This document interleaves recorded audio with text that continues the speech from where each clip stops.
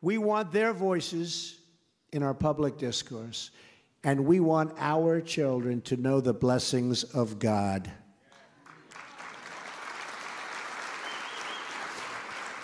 Schools should not be a place that drive out faith and religion, but that should welcome faith and religion with wide open, beautiful arms.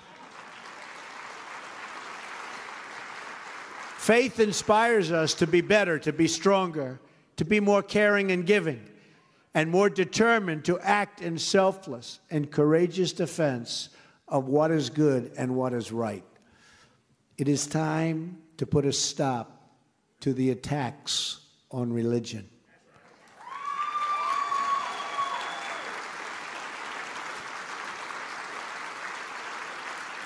Thank you.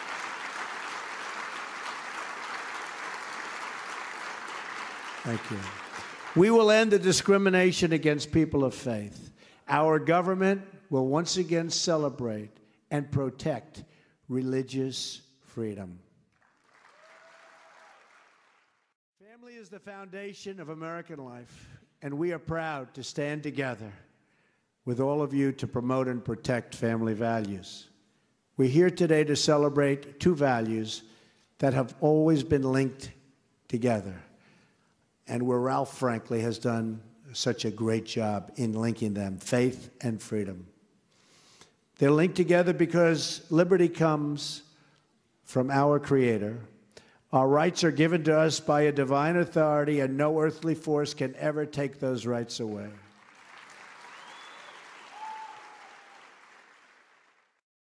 Bureaucrats think they can run over your lives, overrule your values, and tell you how to live.